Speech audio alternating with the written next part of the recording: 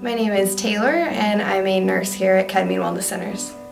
I think what makes KWC so different is the care that everyone provides here. You, you really see a difference in how much everyone puts into each patient and everyone cares so much about how the patient's treatment goes, how their results are, and just how their experience is while they're here.